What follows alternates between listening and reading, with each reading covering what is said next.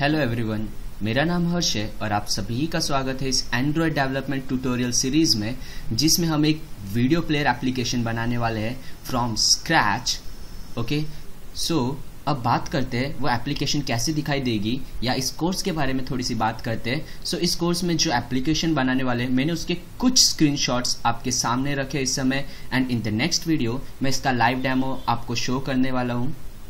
Okay so आप इन screenshots को देख सकते हो। अब बात करते हैं क्रोस प्री रेक्यूसिट्स की।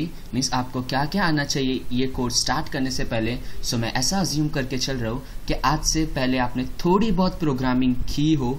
आपको पता हो इफ़ एल स्टेटमेंट्स क्या होती है लूप्स क्या होती है वेरिएबल्स क्या होते हैं। एंड उसके अलावा इधर आपको जावा या कॉटलिन इन दोनों में से एक प्रोग्रामिंग लैंग्वेज आती हो, अगर आपको कॉटलिन आती है तो काफ़ी अच्छी बात है।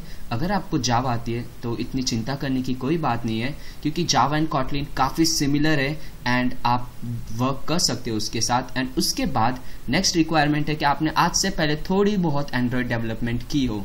मीन्स आपको पता हो है कि एंड्रॉयड स्टूडियो नाम का एक टूल है जिसके अंदर थोड़ी बहुत एंड्रॉयड डेवलपमेंट की जाती है। एंड आपने छोटी मोटी हेलो वर्ल्ड जैसी बेसिक एप्स बनाई हो।